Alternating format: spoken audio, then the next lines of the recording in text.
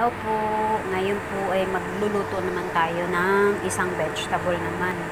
Ang tawag po nila dito sa vegetable na ito is chow pai sun. Siya po yung ah, maliliit, parang fresh na tawag nun, fresh na bamboo.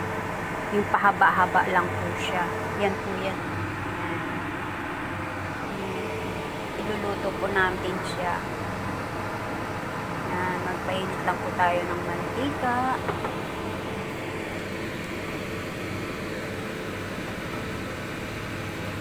Tapos, igisa po muna natin yung isang mushroom.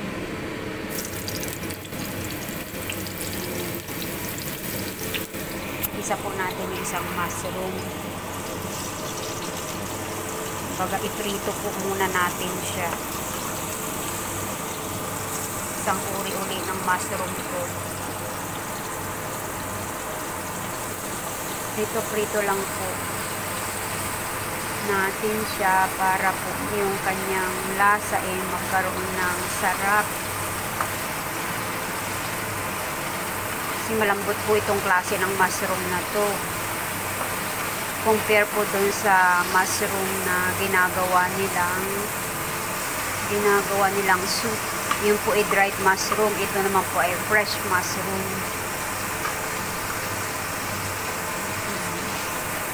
Unahin ko lang po siya. Kasi madali po itong maluto. And then po, isunod natin yung ito po yung ano, chinap-chap pong maliliit na karne. Yan.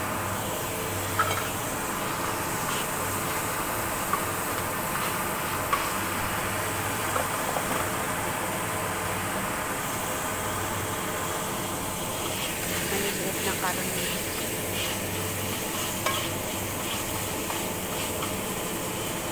Isang tabi po muna natin yung mushroom. Yung sa karne muna tayo. Ito po ay napakuluan ko na. Itong maliliit na ginayat ko niyan. Para po mawala yung langsa ng baboy konti lang po nilagay ko kasi konti lang yung ah, gulay na lulutuin natin. Pampalasa lang po siya. Konting brown, pagka-brown lang. Ito po ay luto na. Medyo malambot na siya ng konti. Palabas lang natin yung ano niya, yung amoy.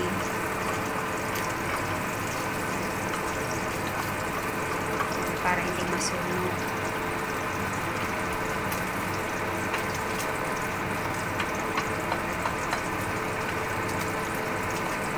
Konting brown lang po.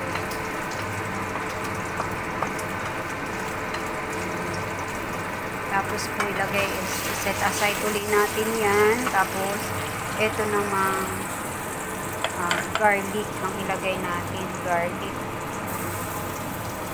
Garlic dito po madalang silang maglagay ng magpalagay ng ano ng madalang sila magpalagay dito ng sibuyas. Mas ano po dito ng mga Chinese ang garlic. Gisa-gisa lang po natin konti yung garlic para magkaroon siya ng amoy at lasa mabango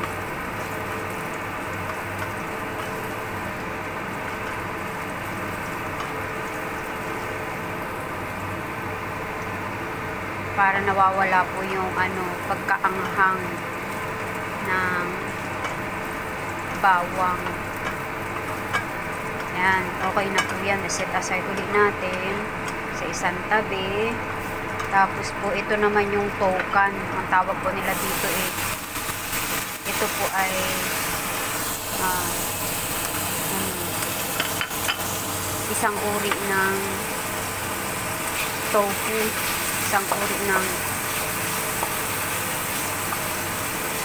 ano bang ano tawag sa atin ang ano ang tofu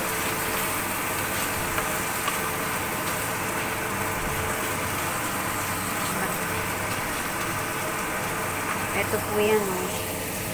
ito po yan ginayat-gayat ko lang siya ng. Bin- Nabibili po yan sa palengke ng ano na siya, ng luto na para hindi na po tayo nahirapang magluto. I-fry lang po natin siya ng kaunti.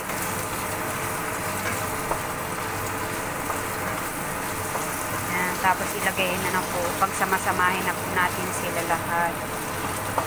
Ayan, ayan, mabango na po siya. Tapos po yung hiniwa kung tawagin nila dito ay chow pai soon. Ito po ay fresh na na bamboo. Ayan, lalagay ko na po siya.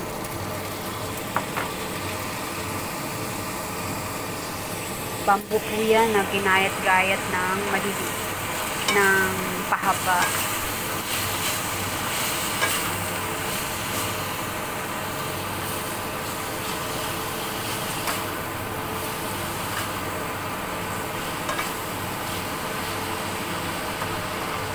Bum- mabango na po.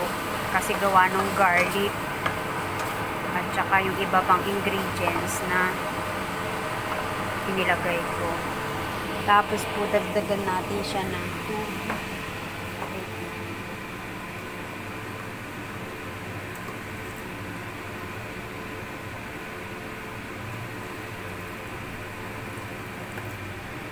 Ayan, tubig po. Yan, mga isang cup po na one cup na po. Para po lumambot.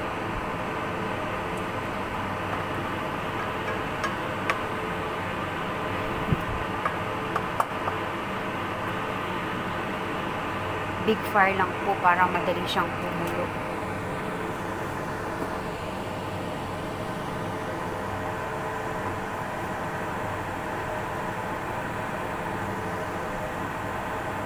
Madali lang po ito lutuin.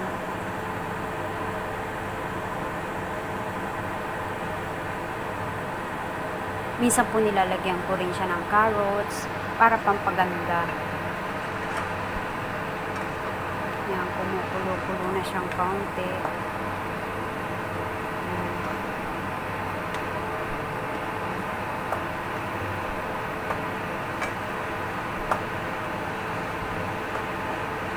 Yan, ganyan lang po yan.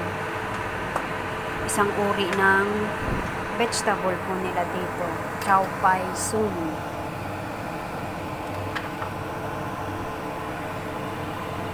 Bamboo yan. Bamboo shoot. Lang natin ng konting asin.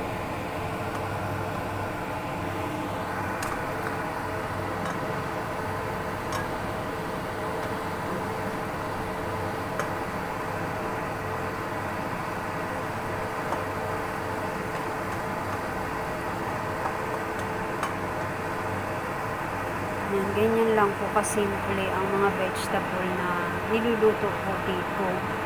Ang, pagkakaiba lang po kasi sa ibang vegetable, dito po hindi sila ma ma mahilig sa sibuyas, lagi pong bawang ang inilalagay. Kahit sa soup, bawang. Yan po, antayin na lang po natin siyang maluto. Salamat po sa inyong panonood. Subscribe po at eh, kalimbang po ang aking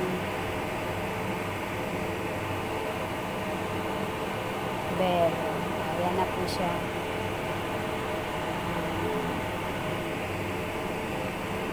Bye po.